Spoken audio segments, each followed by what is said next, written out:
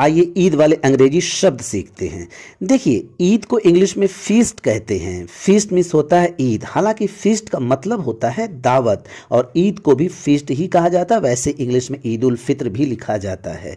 ईद के पहले वाली रात को चाँद रात कहते हैं। चाँद रात को इंग्लिश में ईद यू कहते हैं। ईद यू मीन्स होता है चाँद रात। देखिए, चाँद रात को लड़कियाँ औरतें मेहंदी लगाती हैं। मेहंदी को इंग्लिश में हिना कहते हैं। हिना मीन्स होता है मेहंदी। मेहंदी लगाना को apply henna. Apply henna means mehndi लगाना। देखिए, उस दिन सब लोग के घर में सेवई बनती है। सेवई को वैसे तो नूडल्स कहते हैं, लेकिन इसके लिए प्रॉपर वर्ड है जिसको वमी चैली कहते हैं। वमी चैली मीन्स होता है सेवई। और उस दिन सबको ईद मुबारक बोला जाता है। ईद मुबारक को इंग्लिश में हैप्पी ईद कहते हैं। और ईद की नमाज़ के पहले फितरा निकालना ज़रूरी है। फितरा को इंग्लिश में फितरा ही कहते हैं। ईद की नमाज़ मस्जिद में पढ़ी जाती है। मस्जिद को इंग्लिश में मास्क कहते हैं। मास्क मिस होता है मस्जिद। नमाज़ को इंग्लिश में सलाह बोलते हैं। सलाह मिस नमाज़। हालाँकि सलाह अरबिक वर्ड है। दुआ मांगी जाती है। दुआ को इंग्लिश में प्रेयर कहते हैं। प्रेयर मिस दुआ आयत पढ़ी जाती है। आयत को वर्स कहते हैं। वर्स मिस आयत। कुरान भी पढ़ा जाता है। देखिए, कुरान पढ़ना को रीड नहीं रिसाइट कहते हैं। Recite the holy Quran. Eid की मुबारकबाद दी जाती, ईद की मुबारकबाद को ईद विशेष कहते हैं। ईद विशेष मीन्स ईद की मुबारकबाद। हाथ मिलाया जाता है, हाथ मिलाना को शेख हैंड कहते हैं। शेख हैंड मीन्स हाथ मिलाना। लोगों से गले मिला जाता है। गले ज़रूर मिलते हैं। गले मिलना को एम्ब्रेस कहते हैं। एम्ब्रेस मीन्स होता है गले मिलना। हालाँकि हग मतलब भी गले मिलना ही होता है। मुबारकबाद देना को ग्रीट कहते हैं। ये तो हम सब जानते हैं। ग्रीट मीन्स मुबारकबाद देना। देखिए, सदका भी निकाला जाता है। सदका को चैरिटी कहते हैं। चैरिटी मीन्स सदका होता है। ईद के पहले एक महीने का रोज़ा होता है। रोज़ा को इंग्लिश में फास्ट कहते हैं। फास्ट मीन्स रोज़ा, इबादत का महीना होता है। इबादत को इंग्लिश में वर्शिप कहते हैं। वर्शिप मीन्स होता है इबादत। देखिए ईद की नमाज़ पढ़ी जाती है, ईद के दिन सुबह सुबह ईद की नमाज़ को इंग्लिश में ईद प्रेयर कहते हैं। ईद प्रेयर मीन्स होता है ईद की नमाज़।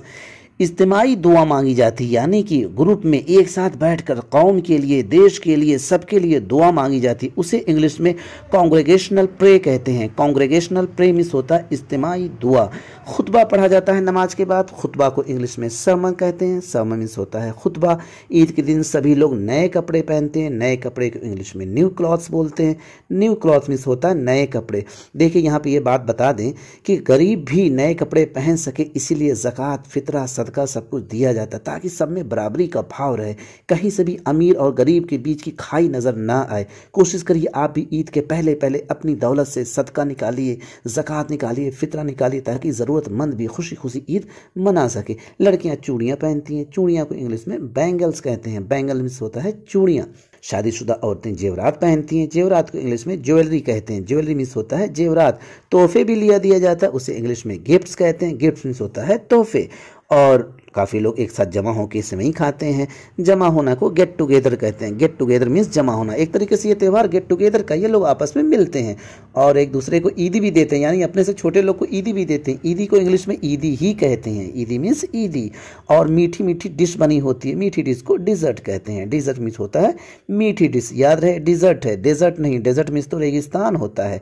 ईद खुशी खुशी मनाई जाती है। मनाना को इंग्लिश में सेलिब्रेट कहते हैं। सेलिब्रेट मीन्स होता है मनाना और सेलिब्रेशन मीन्स जश्न जश्न की इंग्लिश सेलिब्रेशन और उस दिन लोग नए नए कपड़ों में खुशबू लगाते हैं। खुशबू को इंग्लिश में परफ्यूम कहते हैं।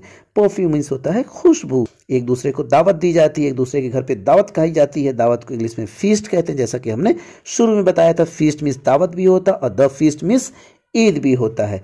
और बहुत से घरों में खीर भी बनती है। खीर को इंग्लिश में राइस पुडिंग कहते हैं। Rice pudding means kheer. तो दोस्तों, आपको और आपके परिवार को ईद की ढेरों मुबारकबाद। इसे इंग्लिश में कहेंगे Eid Mubarak to you and your family. और चलते चलते दोस्तों, कमेंट करके ज़रूर बताइएगा बिरयानी को इंग्लिश में क्या कहते हैं। फिर मिलते हैं नेक्स्ट वीडियो पे। शुक्रिया दोस्तों वंस अगेन हैप्पी ईद।